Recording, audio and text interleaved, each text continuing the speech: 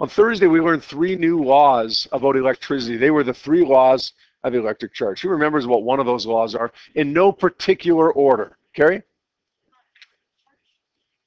Uh, okay, okay, that's the, that's that's the fourth thing. I'm going to put a little star by that and call it uh, law number four, but it doesn't really go with the other three. That's okay that you give me that one though. That's the law of conservation of charge. And the law of conservation of charge says that you can't create charge, you can't destroy charge. You can, you said you can't get rid of it. Well, you can kind of get rid of it, but it's got to go somewhere, right? It can't just be destroyed into nothingness, which is, I think, what you meant, right? You can't just destroy it. You can't create it, you can't destroy it, but you can transfer it from one object to another, and sometimes it appears to disappear. Like it looks like it disappears. Just like momentum sometimes can look like it disappears. Just like energy can sometimes look like it disappears. But just like the law of conservation of anything else, the total amount has to remain the same. Um, we did an example on Friday to illustrate uh, one of the applications of the law of conservation of charge. And we'll do a number of illustrations of the law of conservation of charge over the next uh, few weeks here. But I'm going to do another example with you like I did on Thursday. Okay, let's say you got three charges, and those three charges are plus five coulombs, uh, minus, uh, let's say minus two coulombs, and let's say uh, zero coulombs. This third one is, is neutrally charged. And let's say object one touches object number two, and then let's say object two, they separate from each other, then object two touches number three. I want to find out what the total charge is on each of them on each of the individual charges after these events take place. When one touches number two, well, look, the total charge between one and two, plus five and minus three, sorry, minus two was uh, plus three. The charge on each individual one will be 1.5 coulombs.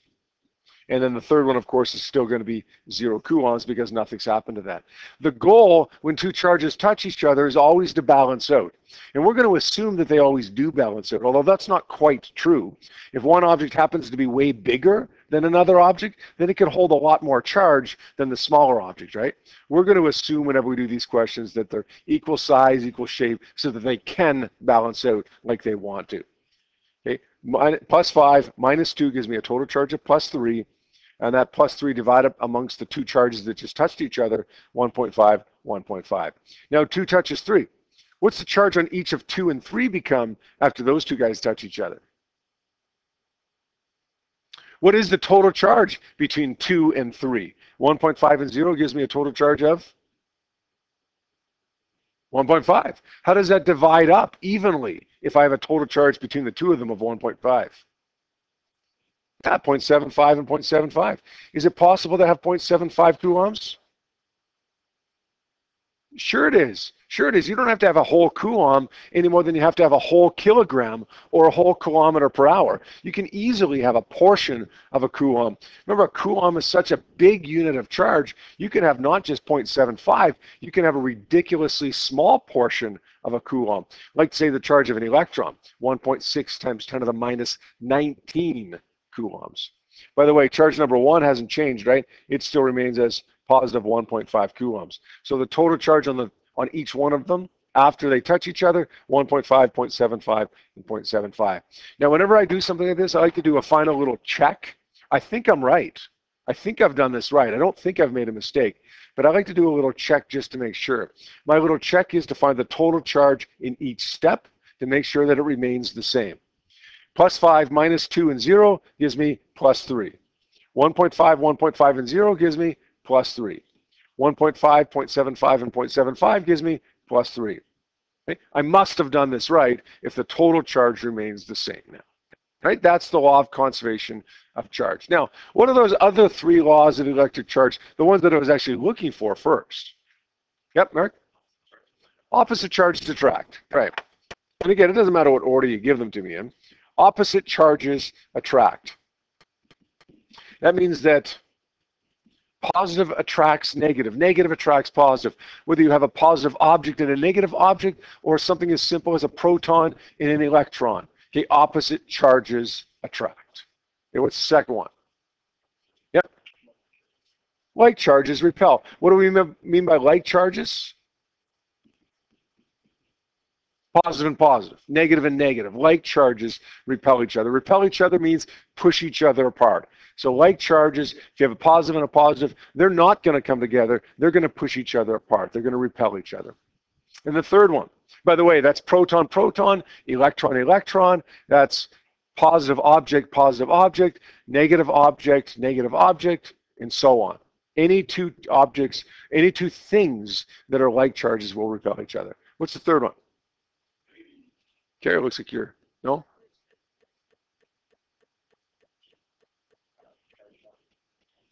Good. Charged objects attract neutral objects. Now, that word objects is important here. Protons do not attract neutrons. Electrons don't attract neutrons, but positive objects do attract neutral objects, and negative objects do attract neutral objects. You're going to see later on today why it's important to have that word objects in there, why protons don't attract neutrons, but positive objects do attract neutral objects. All right. Today, the focus of our discussion is going to be on how we get objects charged. How we get a negative charge on an object. Negative repels negative. Negative attracts positive. But how do we get an object to be negatively charged or to be positively charged? Okay, we know where fundamentally charge comes from. Positive objects have more protons than electrons. Negatives have more electrons than protons. But how does it get more electrons or how does it get more protons? Okay, the first thing we got to remember here before I uncover any of this little chart is that when charges move, it's going to be the electrons. It's going to be the negatives. We talked about that on Thursday. The reason it's going to be the electrons is because they're the ones that are outside the nucleus. They're attracted to the nucleus. They want to stay there, but they don't want to stay there nearly as badly as the protons want to stay in the nucleus. Protons aren't going to leave. Electrons might, not necessarily, but they might leave and go from one thing to another and cause some charging to go on here. All right, there are two general categories of charging. We call them charging by conduction and charging by induction. I'm going to make a couple notes about both of them here. Charging by conduction always always, every single time, always involves a transfer of charge.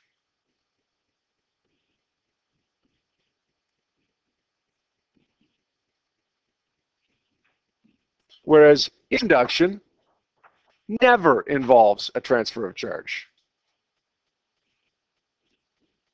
And by the way, when we say charge transfer, we mean electrons, right? Because if something's going to transfer, it's going to be the electrons.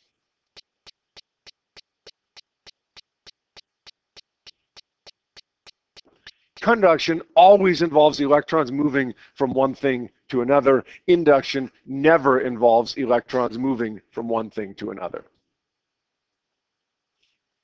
Conduction usually, although not always, it usually involves touching.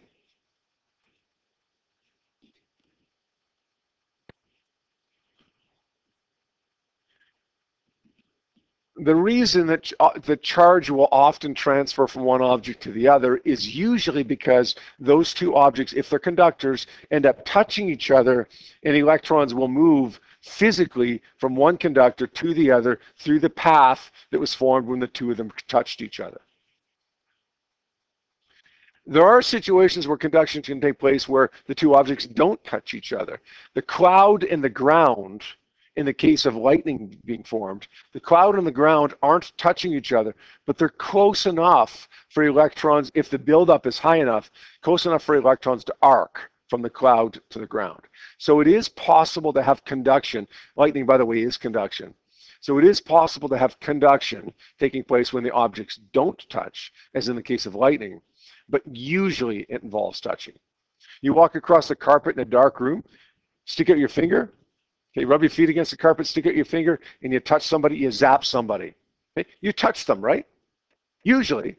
Although every once in a while, if you build up enough charge on your body when you walk across the room, you can actually feel that charge transfer. You can actually feel that conduction taking place just before you make contact with the person, right? We still call it conduction in both cases. Usually it involves touching the person, but occasionally, sometimes, it can involve just getting close enough for the electrons to jump or to arc from one object to the other. Induction never involves touching.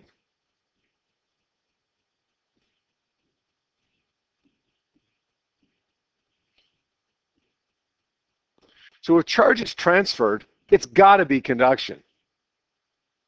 If two objects touch each other, it's got to be condu uh, conduction. If charges don't transfer, it's got to be induction. If two objects don't touch each other, it could be induction or it could be conduction, depending upon whether charges were actually transferred in that process or not. All right, let's provide a little bit more detail for charging by conduction now. We're going to break that down into two smaller categories. We call charging by friction and charging by contact. By the way, charging by contact, sometimes we don't even use the name contact. Sometimes we just call it charging by conduction. The subcategory, friction, is sometimes called the same thing as its parent category, conduction. Charging by friction involves rubbing things together.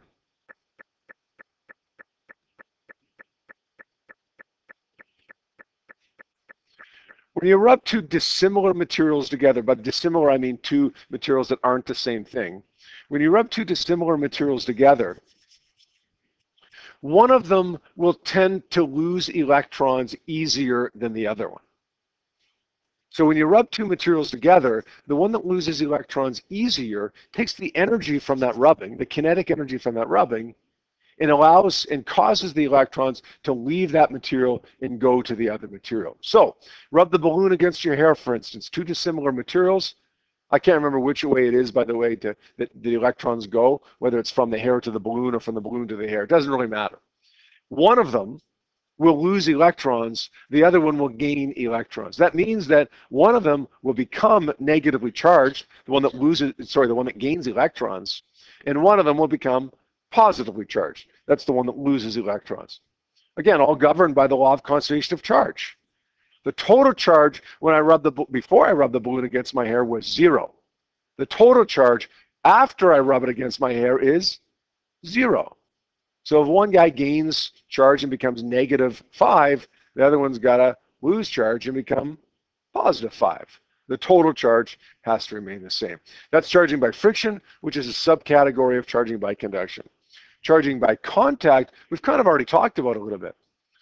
Two objects come close enough together for either electrons to jump or they physically touch each other.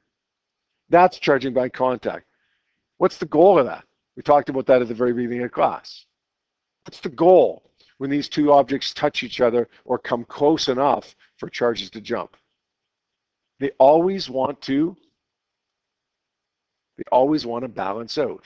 Right now, they don't always balance out depending upon size and shape, okay, but we assume that they do balance out. Okay, we make that assumption if it's the objects are equal size, equal shape, they do balance out. So we're going to say for charging by contact or by conduction, um, objects touch, but I'm going to put that in quotation marks. Why am I put that in quotation marks? Why did I put that in quotation marks? Because they don't necessarily have to touch, right? They come close enough for charges to jump. That's still charging by contact. Objects touch each other and balance out charge.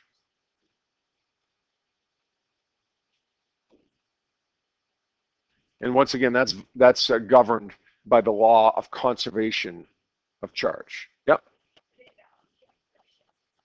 Uh, no, they don't balance during friction, um, but the law of conservation of charge still holds. Um, when you rub two objects together, let's say that they start as, off as neutral and neutral. The balloon and my hair start off as neutral and neutral. I rub the balloon against my hair, uh, and again, I can't remember which way the electrons go. Let's say it goes from the balloon, sorry, from my hair to the balloon. If my hair was neutral and the balloon was neutral and charges were transferred, then the balloon's going to become negative something, right? Let's say it becomes negative 7. What does my hair become? Positive 7. Because they have to not balance, kind of the opposite of balance, right? When you rub them together, um, the charges become opposite because the electrons have moved from one to the other there. Does that make sense? Um, but again, the total amount of charge still remains the same. It's governed by the law of conservation of charge. Nick?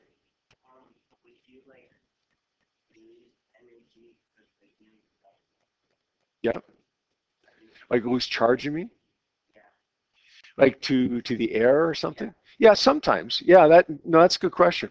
Um, just like in the law of conservation of momentum, Nick, we avoided um, outside forces like friction and so on. We, we try to make it an isolated system so that there was no outside forces. Why did we do that? Well, because we wanted to make sure that no momentum was taken away by something.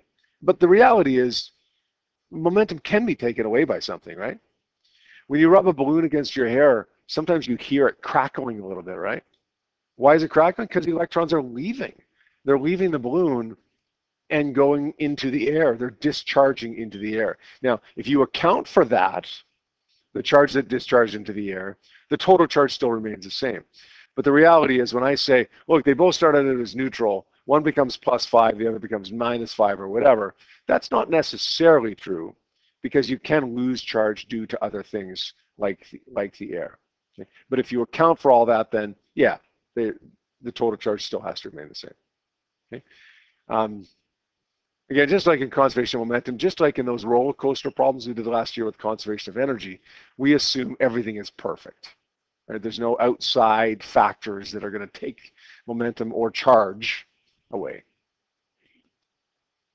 All right, charging by induction. This is our this is our way of charging by not transferring charge. How does that work? Well, let's first talk about the two subcategories of charging by induction. We can make what we call a temporary separation of charge. And we can make a permanent charge. So we can temporarily separate some charge. We can permanently make an object charge without transferring charge. I'm going to draw a couple pictures for this.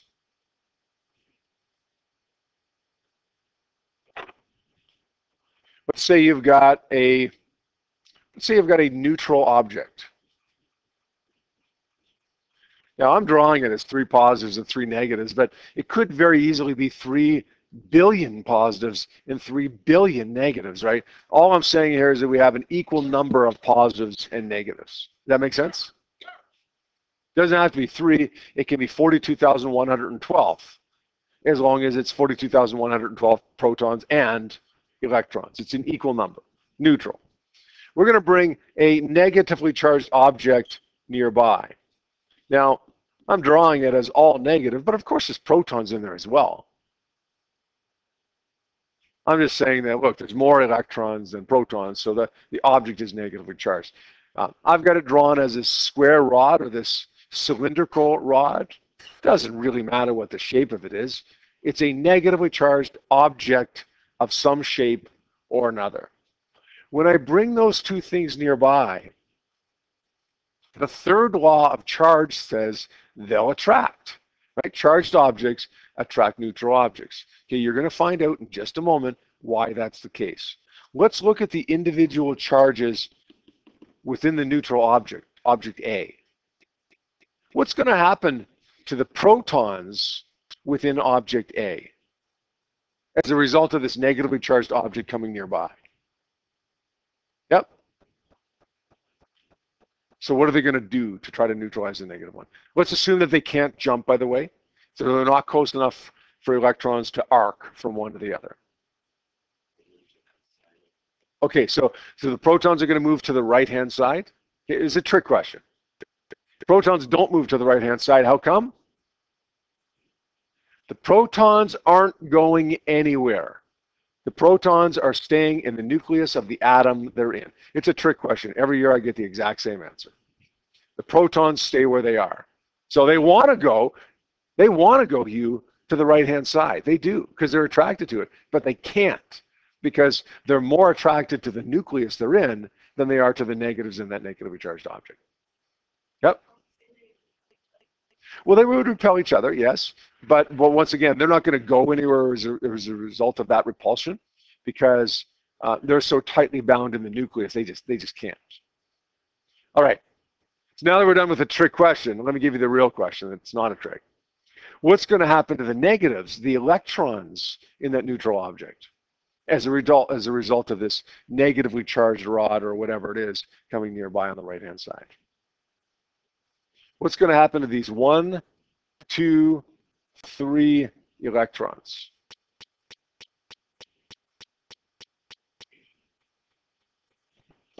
Good, Carrie, they're going to push away. So those electrons that we have right here, one, two, three, they're going to be pushed to the left-hand side away from this negatively charged object. Now, the reality is they won't all be pushed over to the left-hand side. When we draw this, we're drawing it as a uh, an exaggerated thing, right? An exaggerated diagram. They don't all move to the left-hand side, but the effect is the same whether they all do or not. The effect is that you get what we call a separation of charge. One side of the neutral object is negative because we have more negatives than positives, and the other side is positive because we have more positives than negatives. It's a separation of electric charge. It's temporary. It's temporary. Why? Tell me why it's temporary. Tell me why it's not going to stay this way forever. Go ahead. Good. Once we move this thing away, there's no reason for the electrons to stay pushed over to the left-hand side. They're going to, so, Carrie, you said, it talked about the protons repelling each other the electrons will repel each other to the point where they're going to be distributed around again, right? So it's going to go more or less back to the way it was before and even distribution. It's a separation of charge, but it's only temporary because when I take that charging object away, it goes back to the way it was before. What about what about if we did this? What about if we made a neutral object again, negatives evenly distributed, and I bring this time a positive object nearby. Again, not all positive, there's lots of electrons there too, but there's more protons than electrons. What's going to happen to the protons in the neutral object now, Hugh? What's going to happen to the protons in the neutral object? They're going to stay where they are because they're so tightly bound in the nucleus, they can't go anywhere. What's going to happen to the electrons, these negatives in the neutral object? Victoria, where are they going to go?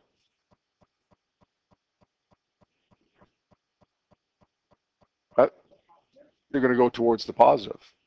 The electrons are going to go towards the positive. So these guys, one, two, three electrons, are going to go to the right-hand side because they're attracted to this positive. And here it was that second law of the electric charge where like charges repelled each other. The negatives were repelled away from the negative object. Here the negatives are attracted to the positive object. It's that first law where opposites attract. Now we have again a separation of charge. Over here it's positive. Over here it's negative. It's temporary because when I take this away, it all goes back to the way it was before.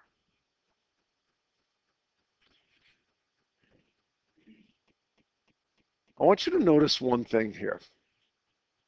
I told you a few minutes ago when we were reviewing that third law of the electric charge, charged objects attract neutral objects.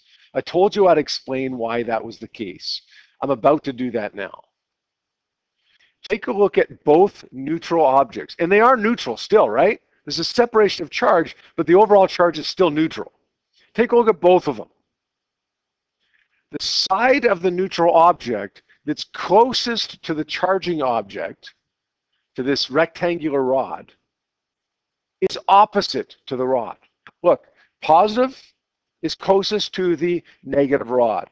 The negative side is closest to the positive side. This neutral object is attracted to this negative object because of the separation of charge that occurs, making the side closest opposite. So basically we're saying charged objects are attracted to neutral objects because opposites, opposites attract. That makes sense? Look, look down here. Charged objects attracted to neutral objects because, once again, negative is attracted to positive. Opposites attract. That doesn't happen with protons and neutrons because you can't get a separation of charge in neutron.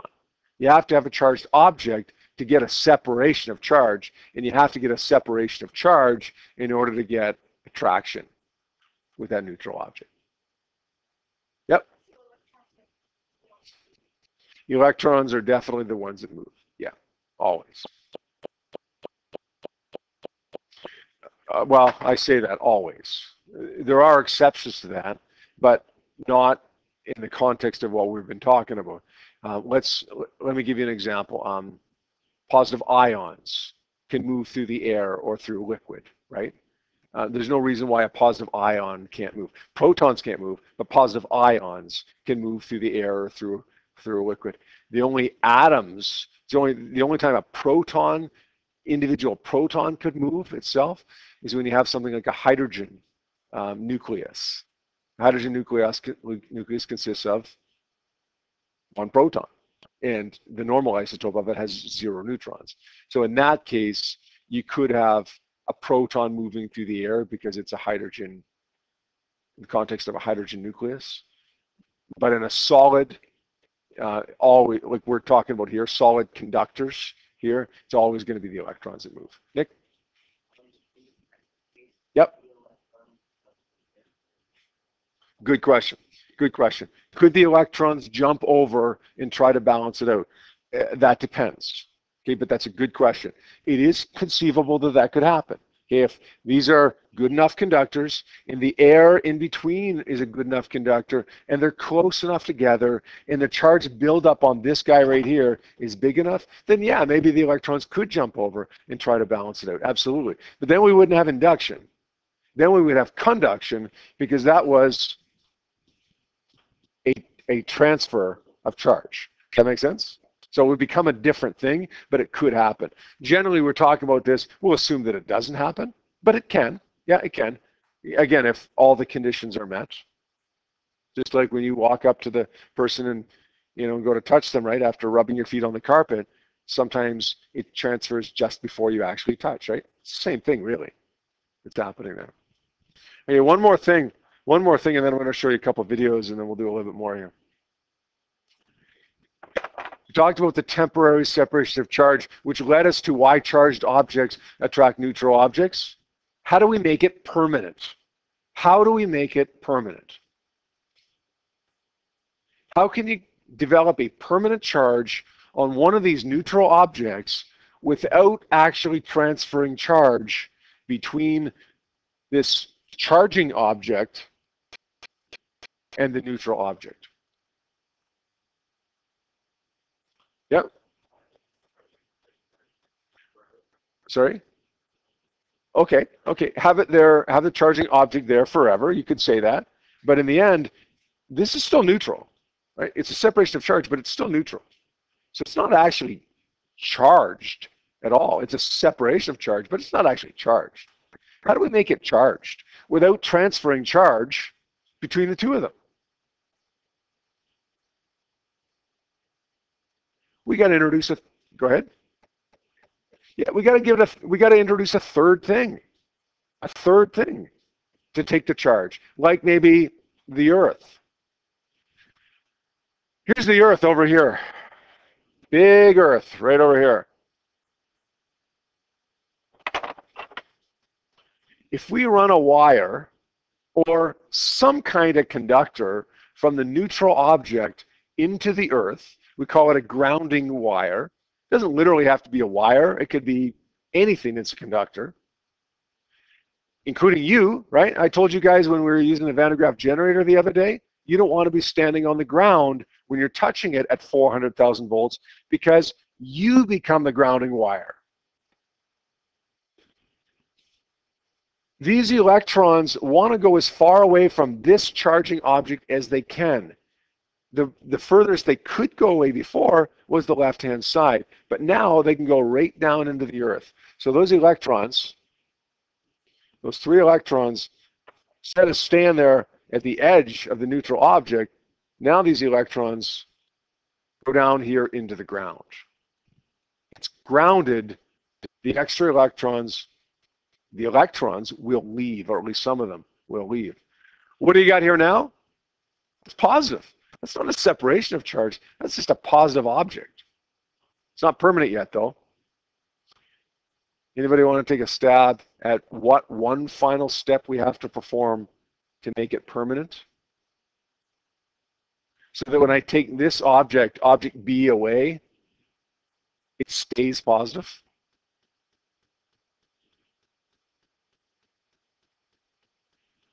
Okay? Yeah. Cut the ground wire. Disconnect it. Then you can take this away all you want. The electrons want to come back up into the object from the ground, but they can't because there's now not a path to go down to go up from the ground. Does that make sense? Yep.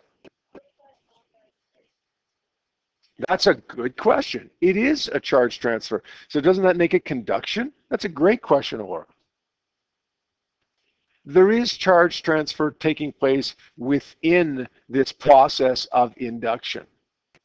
But if you take a look at these two objects right here, specifically this one, the thing that's doing the charging, there's not a transfer taking place. So within this phenomenon of, of, of induction, inducing a permanent charge, there is a charge transfer taking place. There is conduction taking place. But the process we still call induction because the thing that's doing the charging doesn't have a charge transfer. That make sense? Good question though, real good question. Let's look at this one down here. Let's ground this one. What happens here? We, we can't push negatives down. Right? Negatives are attracted to this positive object right here, object B. Well, the ground or the earth is not just an infinite sink of electrons that will, that will take as many electrons as you want to give it. It's an infinite source of electrons as well, which means that it can give up as many electrons as it needs to, essentially. So electrons will leave the ground. They'll come up into they'll come up into this object. Look, now it's negative. If you cut the ground wire, you can take object B away if you want, and this object will remain positive. Once again, or there's transfer taking place there, but the overall process is still called induction because there's no transfer taking place between the objects that are doing the charging. Yep.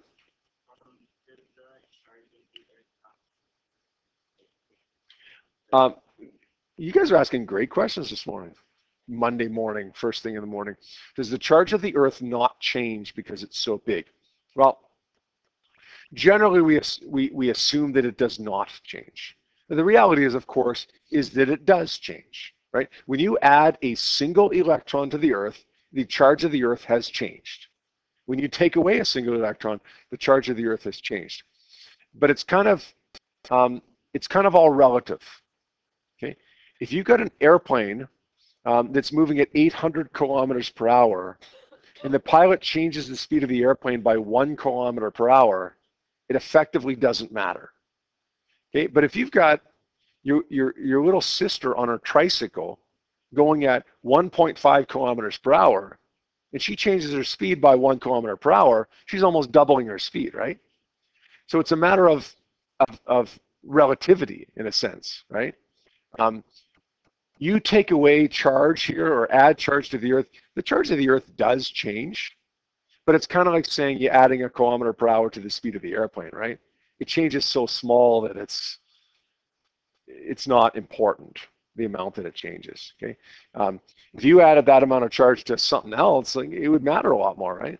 But to the Earth, it's 10 to the 24 kilograms. It can take as many as you want, and it doesn't really it doesn't really change the overall charge. By the way, I say we ground it by attaching a ground wire to the earth.